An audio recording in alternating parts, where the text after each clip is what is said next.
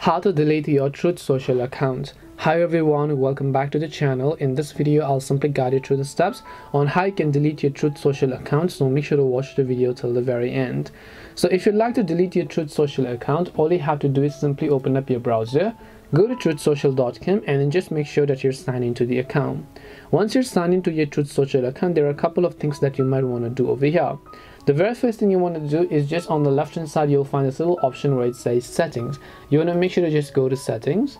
Once you go to settings you'll be taken to this page where you want to scroll all the way to the bottom until the other options menu come up and under other options you can see this red label text that says delete account. You want to make sure to just click on this option where it says delete account. It'll ask you to simply enter your password. Make sure to enter your password. And all you need to do is just click on the delete account option and then your account will be successfully deleted and you cannot undo this action. So this way you can delete your truth social account. Hope this video was very helpful to you guys. And if it did help you then make sure to leave a like and subscribe to our channel.